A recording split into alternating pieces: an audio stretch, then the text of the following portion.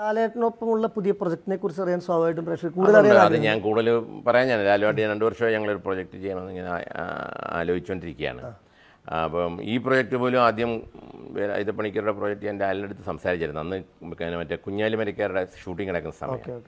അപ്പോൾ രണ്ട് ഒരുപോലുള്ള historical characters ആണല്ലോ. അത് വേണമെന്നെന്തൊക്കെ ചോദിച്ചു. ഞാൻ പറഞ്ഞു ഓക്കെ യു ആർ കറക്റ്റ് അങ്ങനെ വിട്ടു.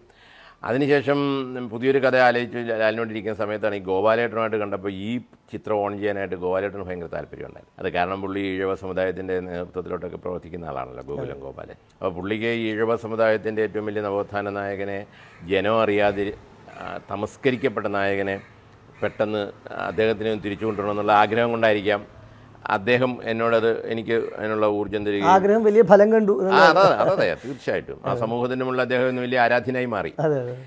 അപ്പം അതുകൊണ്ടായിരിക്കാം പുള്ളി എന്നോട് എന്നോടിത് അപ്പം ഇത് ഓൺ ചെയ്ത് ഞാൻ. അപ്പോൾ ഇതിന്റെ പുറകെ പോയി രണ്ട് രണ്ടര മൂന്ന് വർഷം. ഇപ്പം ലാലുമായിട്ട് ഞാൻ സംസാരിച്ചപ്പോൾ പറഞ്ഞു പുള്ളിയുടെ രണ്ട് മൂന്ന് പ്രോജക്റ്റ് ഉണ്ടല്ലോ. അത് കഴിഞ്ഞൊരു ഒരു പ്രോജക്റ്റ് ഒരു കഥ ഉണ്ടാക്കാൻ എനിക്കൊരു ഈ പറഞ്ഞ ഒരു വലിയ മാസ്സായിട്ടുള്ള ഒരു സബ്ജക്റ്റ് പുള്ളി വെച്ച് ചെയ്യണമെന്ന് ആഗ്രഹം. അതൊരു ചരിത്ര പുരാണ സ്വഭാവമായിരിക്കും അത്? മാസ്സായിരിക്കും അത്. പുരാണമായിരിക്കും ചരിത്ര അതൊക്കെ നമ്മൾ ചിന്തിക്കുന്നേ ഉള്ളൂ. എല്ലാം ആലോചിക്കുന്നുണ്ട് ഞാൻ. കാരണം മറ്റൊന്നുമല്ല ലാലിന്റെ ഒരു ചെറുപ്പകാലത്ത് ലാലിനെ വെച്ചിട്ട് നല്ല പടം ചെയ്യാൻ എനിക്ക് പറ്റിയില്ല പല കാരണങ്ങളാലും. ഈ പറയുന്ന സിൽബന്ധികളുടെയൊക്കെ ഇഷ്യൂസ് അതിന്റെ കാരണം. ആയിക്കോട്ടെ ചെയ്യാൻ പറ്റിയില്ല. ഇപ്പോൾ ഒരു പടം ചെയ്യുമ്പം അത് വളരെ ശ്രദ്ധിക്കപ്പെടുന്ന അല്ലെങ്കിൽ ലാലിനെ ഒരു വലിയ mass hero Lal mass hero തന്നെയാണ്. പക്ഷേ അതിലും വലുതായിട്ട് എനിക്ക് എന്ത് ചെയ്യാൻ പറ്റും? അതാണ് എന്റെ ചിന്ത. ഈ സൂപ്പർ സ്റ്റാറുകൾ പരസ്യമായിട്ട് സാറിനെ കുറിച്ച് പ്രസ്ഥാനം പറയുന്നത് ആരും പറഞ്ഞിട്ടില്ല. രണ്ട് രാക്ഷസരാജാവിലും രാജാവിലും ദാദാസാഹിബിലും മമ്മൂക്ക അഭിനയിച്ചിട്ടുണ്ട്. ലാലേട്ടൻ ഒരു പുതിയ പ്രൊജക്ട് ഉണ്ടാകുന്നതാണ് അല്ലേ? പറഞ്ഞു കേട്ടത്. ഈ പടത്തിൽ അവരുടെ ശബ്ദമുണ്ട്. ആ ലാലേട്ടൻ പ്രൊജക്ടിനെ കുറിച്ച് എന്താണ് അല്ല അതാണ് അന്ന് ഈ വി ഹേറ്റ് വിനിയൻ ഉണ്ടാക്കിയ ചെറുപ്പക്കാരി ലാലിനെ മോഹൻലാലിനെ മമ്മൂട്ടിയുടെ ഒന്ന് പോയി ചോദിച്ച കാര്യം മനസ്സിലായി അത്ര എനിക്ക് പറയാനുള്ളത് കാരണം അവർക്കൊന്നും ഇതിനകത്തൊന്നും ഒരു കാര്യമില്ല. നമ്മൾ എപ്പോഴും നമ്മുടെ നാട്ടിൽ നടക്കുന്ന അതാണ്. ചെറിയ ചില ബിംബങ്ങളെ വെച്ചിട്ട് മറ്റുള്ളവർ കളിക്കുക.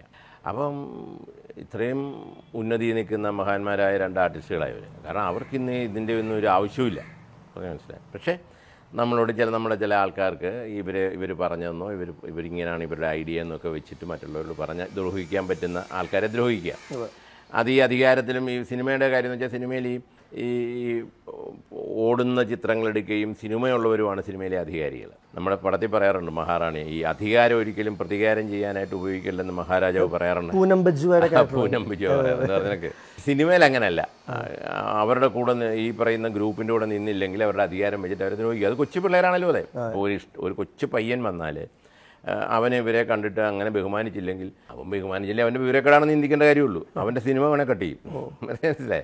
അത്തരം പരിപാടികൾക്കൊക്കെ അന്നേ ഞാൻ എതിരായിരുന്നു. അത് കവിഞ്ഞൊന്നുമില്ല അതിന്റെ തെളിവാണ് മമ്മൂക്കയാണെങ്കിലും മോഹൻലാലാണെങ്കിലും എന്നെ ഈ പടത്തിൽ ചേർത്ത് പിടിക്കാൻ തയ്യാറായത്.